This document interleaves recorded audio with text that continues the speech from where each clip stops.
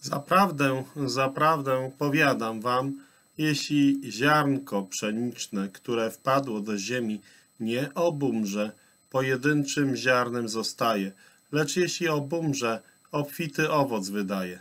Ewangelia według Jana, 12 rozdział, 24 werset.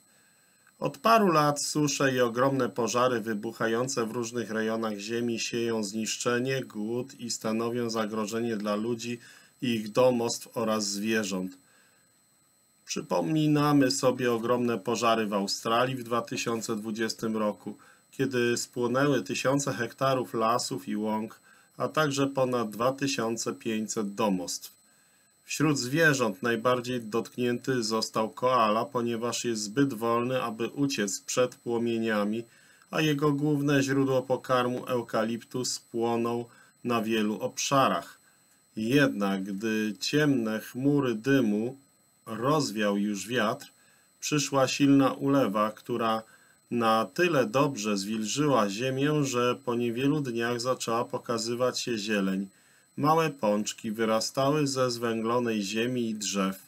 Wydawało się, że nie ma nadziei dla doszczętnie zwęglonej przyrody, a jednak z pączków budziło się nowe życie. Owe straszne pożary w Australii przyniosły wiele cierpienia i biedy. Jest to gorzka prawda, ale w tym wszystkim jest to piękne, że po tych smutnych tygodniach pojawił się znak życia. Czy Bóg nie chciałby nam w tym momencie przypomnieć starego wiersza z księgi Izajasza 53:2? Wyrósł bowiem przed nim jako latorośl i jako korzeń z suchej ziemi?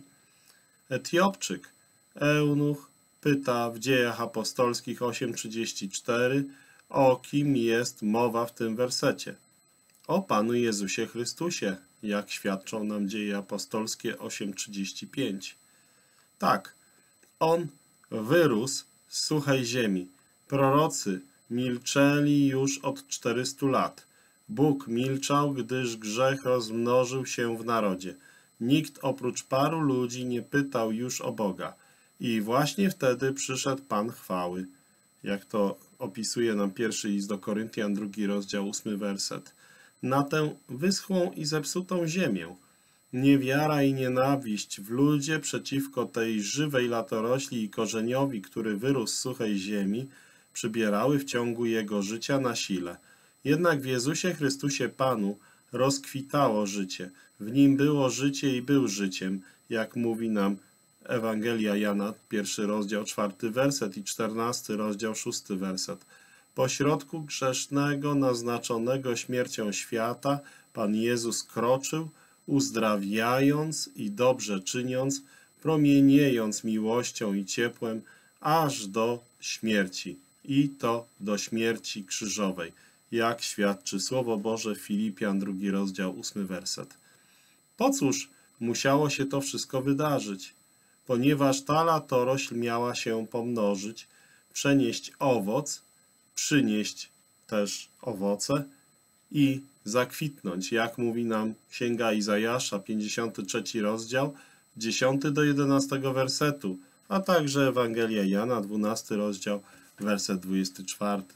Dlatego piękne jest to, że każdy, kto uwierzy w Syna Bożego, w Pana Jezusa Chrystusa, jak to świadczy nam Ewangelia Jana, 3 rozdział, 16 werset, otrzyma życie wieczne i to w tym właśnie bezbożnym, umarłym świecie. Zaprawdę, zaprawdę powiadam wam, jeśli ziarnko pszeniczne, które wpadło do ziemi, nie obumrze, pojedynczym ziarnem zostaje, lecz jeśli obumrze, obfity owoc wydaje. Ewangelia Jana, 12 rozdział, 24 werset.